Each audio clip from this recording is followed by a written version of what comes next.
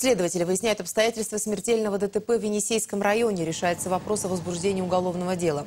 Напомню, в субботу около пяти часов вечера на трассе Красноярск-Енисейск, недалеко от поселка Абалаково, микроавтобус «Ниссан» столкнулся с лесовозом КАМАЗ и опрокинулся в кювет. Четыре человека погибли, еще четверо доставлены в больницу с травмами разной степени тяжести. По предварительным данным, авария произошла из-за того, что водитель микроавтобуса выехал на полосу встречного движения. Автобус не был рейсовым. Установлено, что 40-летний житель Красноярска занимался частным извозом без лицензии. Водитель а, автомобиля Nissan микроавтобуса а, выехал на встречную полосу, по предварительным данным а, уснул за рулем.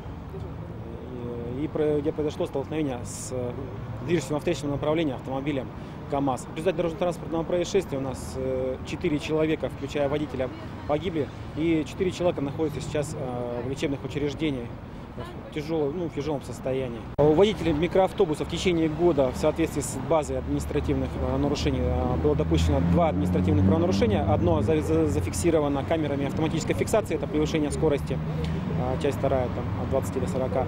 И также расположение э, транспортных средств на проезжей части дороги, это выявлялось ГАИ, ГАИ Енисейска.